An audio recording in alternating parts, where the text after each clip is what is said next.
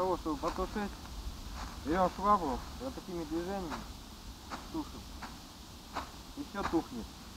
До этого я применял плащ, вот так накидкой тушил. Но это столько сил вы- вынимает из себя. А так подошел, метелочкой, бах-бах.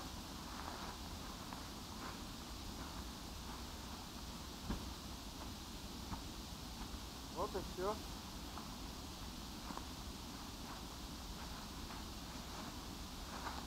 Половина участка, даже четверть участка выкосил ножом, триммером, а остальная часть заросла так, что только выжигать. Все утверждают, что сейчас насекомые вылезают, а пока все еще спит. Проверял, пока тишина. Гнезда еще пока э, никто не вьет. Начало весны. Весна запоздалая в этом году.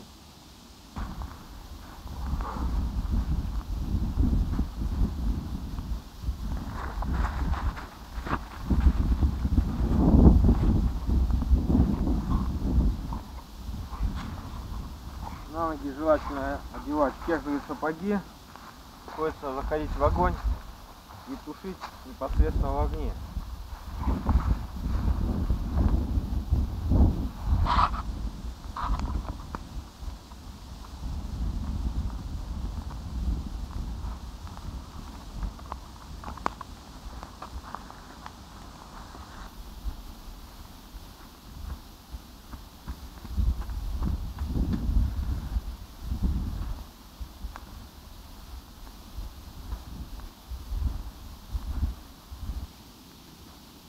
Этом месте в прошлом году картошку сажал под стену. Как видите, горит долго, потому что осталась еще прошлогодняя трава.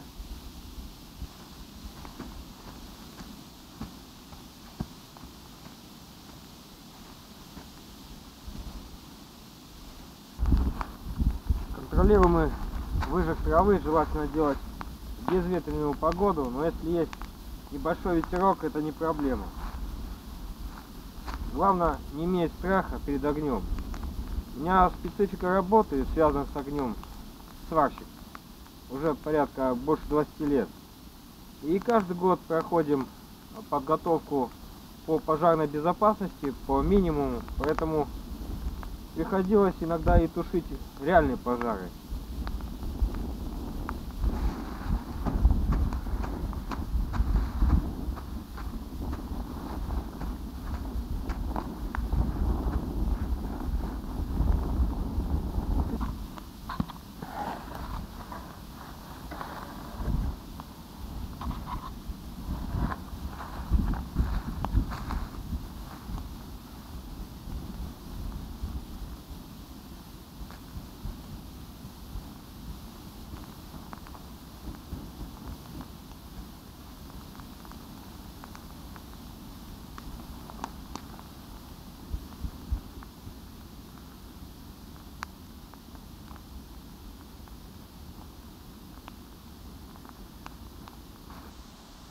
Надо брать большие участки для выжига, потому что не сможете контролировать. Огонь так быстро распространяется, что надо пятачками небольшими. И одевать желательно сварочные краги. Но я к огню привык, сами видите, спокойно. Без них справляюсь. Но желательно, потому что когда большое пламя поднимается на метры, можно обжечь руку. И вы просто бросите швабру, а, покрывало, что угодно и текать, как говорится, побежите. Если реально не справляетесь с огнем, звоните 01, помогут. Ветер дует иногда непонятно с какой стороны. Пламя идет то в одну сторону, то в другую. И тушить надо перед началом горения травы. Вот так. Не давать пламени переходить на траву. Но есть нюансы, когда тушите метлой, огонь подхватывается и перекидывается дальше. И подчас бывает тушите и это место, и следующее. Просто ветер иногда тоже подхватывает и закидывает дальше.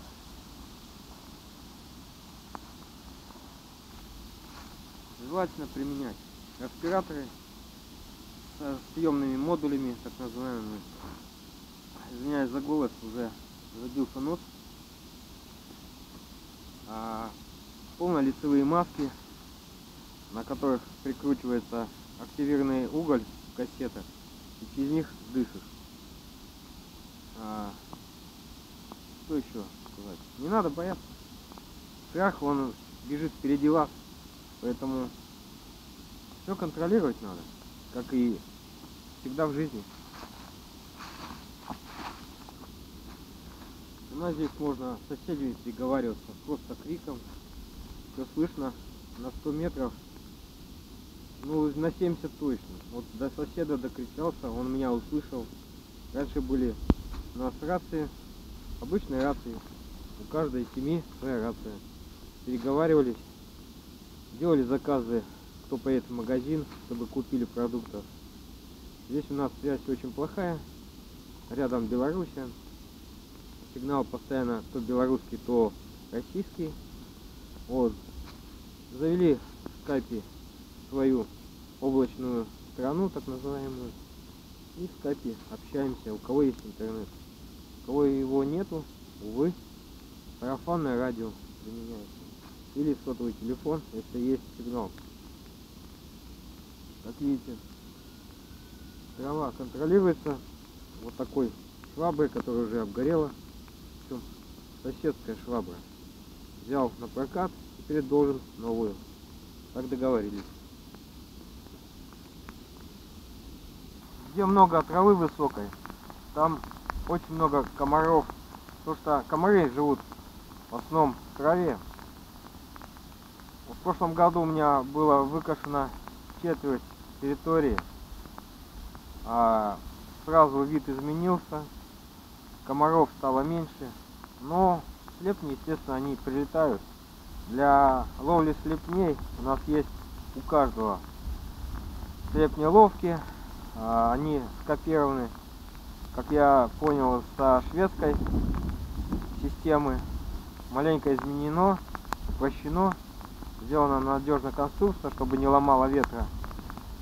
А ветер здесь у меня постоянно дует, а вот умеренно до штормового, а потому что поляна у меня на возвышенность выходит, рядом лес, в лесу есть э, выпилы, где брали лес. И оттуда подчас с озера дует очень сильный ветер. Здесь можно спокойно ставить у меня ветряк, пользуется ветряком. В прошлом году был сильнейший ураган, который повалил здесь вдоль нашей дороги деревья, так что не проехать было, выпиливали бензопилами. В соседних деревнях Э, электропередачи снесло. У нас не было две недели электричества. Привезли большой генератор на 125 киловольт, киловатт. Подключили и питались от него. Но два дня точно сидели глухо без электричества. У кого есть генераторы, пользуясь генераторами, многие потеряли замороженные овощи и фрукты, а, заготовки на зиму пришлось делать варенье, компоты в срочном порядке. Третий этап выжига травы. Здесь трава довольно-таки густая. Придется шваброй помахать, попотеть.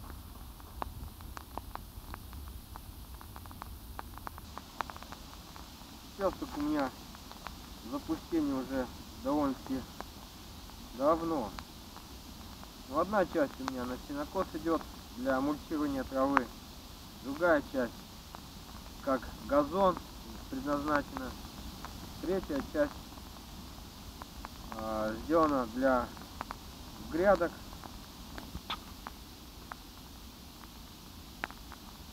Вот два участка, которые выжег Это под грядки, картошку. В прошлом году было перепахано. А, что-то посажено было, что-то оставлено под опару. Третий этап выжига травы.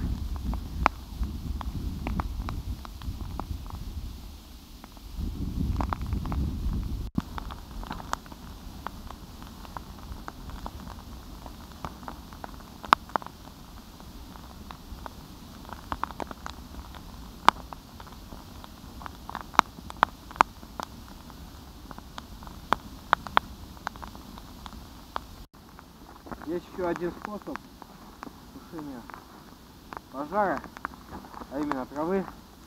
Вот наподобие такого плаща. Берете и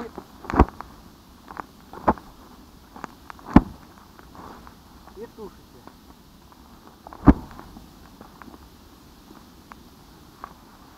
Когда ветер, тушение им очень затрудняется, потому что порой ветра бросают огонь то в твою сторону, то в другую. И подчас довольно-таки тяжело затушить. Можно еще затушить вот таким способом.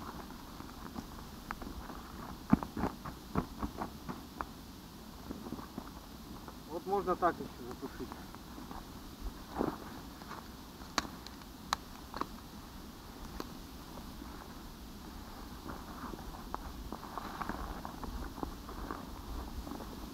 плащ должен быть не как у меня пластиковый, просто под рукой не оказалось, а брезентовый. Брезентовый плащ, накидка брезентовая.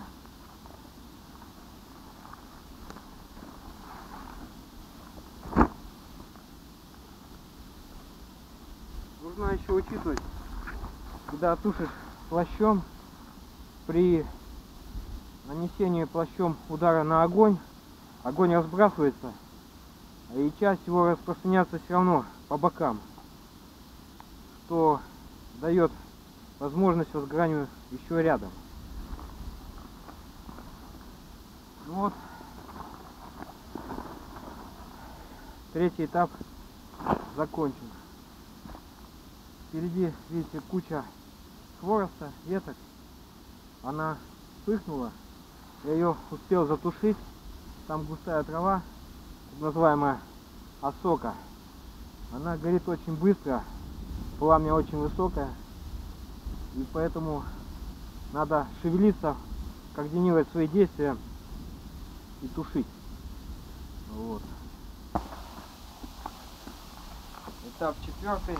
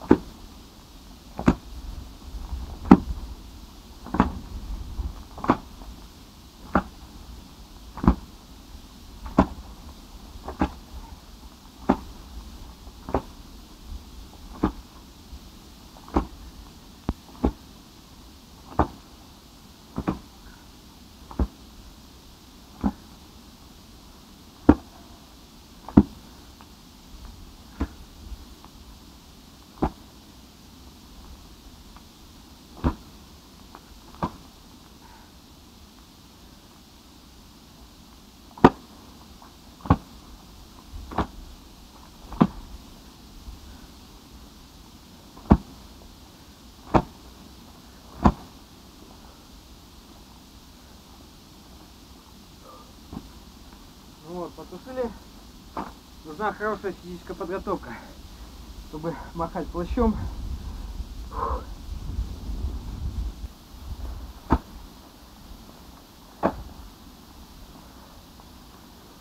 Чуть-чуть прозевал, огонь пошел дальше. Это пока нет ветра. А когда ветер, ну вот видите, опять берем швабру и пошли.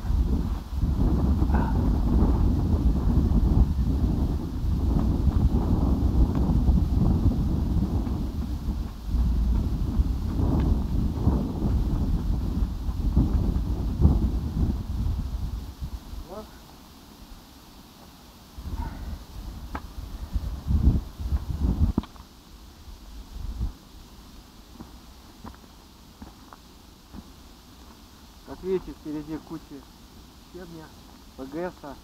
Здесь росла трава. Пришлось выжечь ее просто триммером, ни леской, ни ножом не взять. Сразу все выходит из строя. Вот таким методом побеждаем траву. Друзья, для того, чтобы не заниматься выжигом травы, а, советую выкашивать вокруг домов, дровяников, а, всех, всех разгораемых э, предметов, а, потому что есть возможность, что горит трава, вы не успели потушить, передается на постройки, сараи. Потому что были случаи, а, вдоль дороги едут подпившие ребята, бросают непотушенную сигарету и понеслось. Частенько были случаи, когда когда еще у нас были рации, по рации у нас горит трава. Все поселениям, кто может, а, мужчины собираются и выезжают на место и тушим. Вот. У нас с водой здесь в Псковской области напряг. А самая глубокая точка у соседа моего 16 колец. А у другого соседа где-то колец 10. Вот, водоемов поблизости нету. И возгорание потушить довольно-таки тяжело. Вот тушим швабрами, как я, плащами. Вот. У соседа через дорогу, я не знаю как получилось, но э, возгорание было травы. Э, смотрю, дым валит. Густой дым. Подбегаю, горит трава у него.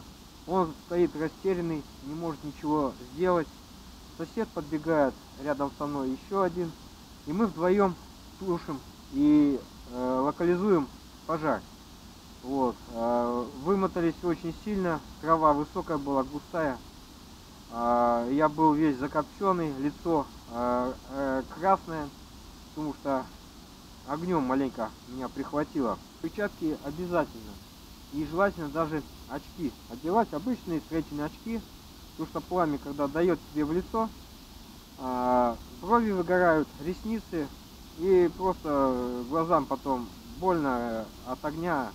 Ну, пожарные, кто пожарный часть служит, они это все прекрасно знают. И а, мне, как сварщику, каждый год они это напоминают. Вот, каждый год проходим пожарную безопасность, потому что работаю с огнем.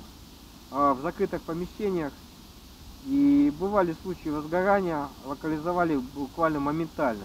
Главное контролировать себя, не давать паники, выходить страху. Это довольно-таки серьезные вещи.